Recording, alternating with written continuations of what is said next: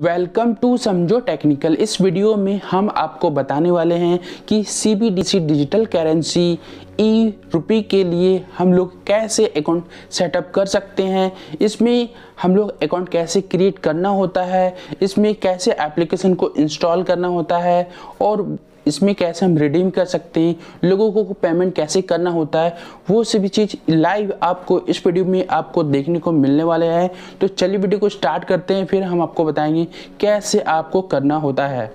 C currency e rupee app उसे install कर लेते हैं। ये application State Bank of India की तरफ़ से है, जो कि अगर आपका कोई और दूसरा बैंक में अकाउंट है तो उस उस एप्लीकेशन को इस्तेमाल कर सकते हैं। आरबीआई की तरफ़ से भी एक एप्लीकेशन आती है, उसे भी इंस्टॉल कर सकते हैं।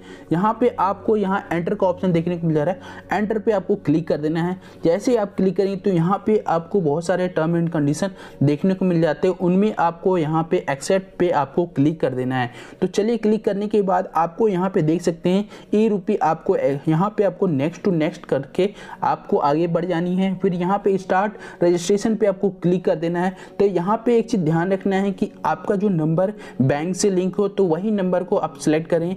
तो चलिए नंबर वन पे सिलेक्ट करने के बाद आपको यहाँ पे सिम को वेरीफाई करना होता है। सिम वेरीफाई कर लेते हैं। तो जैसे ही आप ये प्रोसेस कंप्लीट हो जाता है तो आप यहाँ पे देख सकते हैं यहाँ पे, जैसे ये वेरीफाई होता है वेरीफाई होने के बाद आपको यहाँ पे सिम वेरिफिकेशन प्रोसेस में थोड़ा टाइम लगता है। यहाँ पे प्रोसेस जैसे ही कंप्लीट हो जाएगा तो आपको यहाँ पे नेक्स्ट का ऑप्शन देखने को मिल जाएँगे। अब यहाँ पे ये सिम सेलेक्ट हो चुका है सक्सेसफुली वेरीफाई हो गया है। देन आपको यहाँ पे कंटिन्यू पे क्लिक कर देना है। वो ऐप का पिन सेट करना हुआ तीन तरीके से आप फिंगरप्रिंट आँखों की तरह से इस्तेमाल कर सकते हैं या फेस लॉक की तरह इसको पिन सेट कर सकते हैं। जब इसमें सेट करेंगे तो नेक्स्ट पे क्लिक करेंगे देन यहाँ पे चूज़ वैलेट पे आपको क्लिक करना है, जो आपका जो नाम है, वो आपको फ़र्स्ट नेम और लास्ट नेम आपको यहाँ पे एंटर करना है। एंटर करने के बाद आपको यहाँ पे चूज़ वॉलेट पे क्लिक करना है। क्लिक करने के बाद आपको यहाँ पे कवरी पे आपको क्लिक करना है। यहाँ पे एक चीज़ थोड़ा ध्यान रखना है कि ये जो कोड आपको देखने को मिल रहा है, इसको कॉपी करके रख लेना है। अगर किसी कारण कभी आपका फ़ोन खो जाता है या चोरी हो जाता है, उस कंडीशन से ये कोड वहाँ पे एंटर करेंगे तो आप इसको रीजनरेट कर पाएँगे। तो इस तरह से पेन सेट हो चुका है सक्सेसफुली अब यहाँ पे आपको पिन आपको एंटर करना है। सिक्स डिजिट का पिन जो आपको याद रहे, वो पिन आपको यहाँ पे क्लिक करके सेट कर लेनी है। वॉलेट पिन जनरेट हो चुका है। एंटर करने के बाद यहाँ पे सिलेक्ट वॉलेट पे क्लिक करना है। क्लिक करने के बाद आपको यहाँ पे एक लिंक शो हो जाएगा। उस पर आपको क्लिक करना है। क्लिक करने के बाद आपको यहाँ पे तो यहाँ पे सेटअप करने के लिए आपको यहाँ पे account state bank of India account पे क्लिक करना है। देन आपको यहाँ पे कंटिन्यू पे क्लिक कर देनी है। अब जैसे कि आप देख सकते हैं, यहाँ पे अकाउंट नंबर आ चुका है।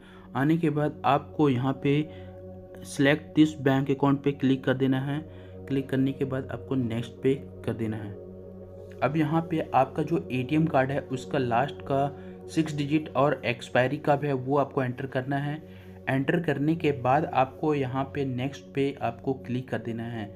यहाँ पे आप देख सकते हैं हो चुका है। देन यहाँ पे आपको आपको नेक्स्ट पे क्लिक कर देना है यहाँ पे। प्रोसेस हो रहा है। देखिए, यहाँ पे अकाउंट सक्सेसफुली हो चुका है। गो टू होम पे आपको क्लिक कर देना है।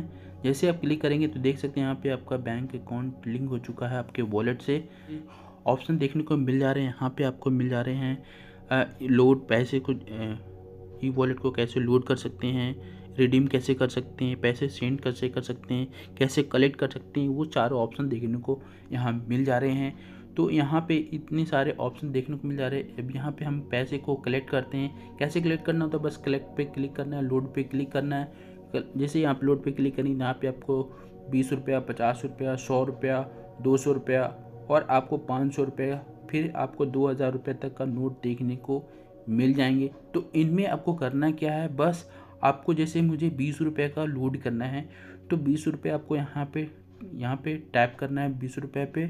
बीस रुपये पे टू टाइम्स टैप करेंगे तो आपको चालीस रुपये आपको मिल जाएँगे। तो यहाँ पे देख सकते हैं टू टाइम्स मैंने ऐड कर दिया है तो देन यहाँ पे आपको कॉइन्स भी पचास पैसे का, एक रुपये का लोड पे क्लिक करना है। देन यहाँ पे आप देख सकते हैं लोड हो चुका है। देन यहाँ पे कंफर्म कर देना है। अब बस आपके नंबर पे एक मैसेज आएगा और ये कंफर्म हो जाएगा और यहाँ पे कंफर्म पे क्लिक कर देना है।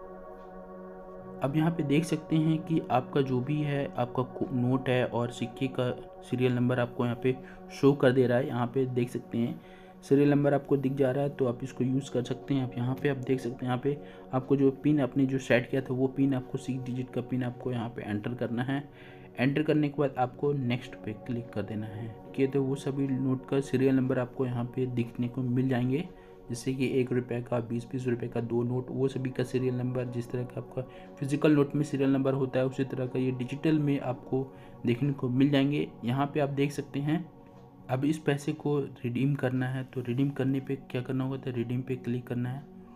और यहाँ पे जैसे रिडीम पे क्लिक करेंगे तो जो ये पैसा आपको देखने को मिल रहे हैं, इकतालीस रुपया, बीस रुपया प्लस ये सभी आपको अमाउंट दिख रहे हैं। इसको आप बैंक में वापस भेजना चाहते हैं। तो यहाँ पे रिडीम पे क्लिक करेंगे तो अगर आपको ये वीडियो काफ़ी अच्छा लगा तो वीडियो को लाइक करें। चैनल पे नए हैं तो चैनल को सब्सक्राइब करें। इस वीडियो को अपने दोस्तों और फ्रेंड के साथ शेयर करें। मन में किसी तरह का सवाल होता है तो नीचे हमें कमेंट कर सकते हैं। नहीं तो हमारे इंस्टाग्राम को फॉलो कर सकते हैं, साथ ही टेलीग्राम ज्वाइन कर सकते हैं। तो अभी के लिए इतना ही। Good bye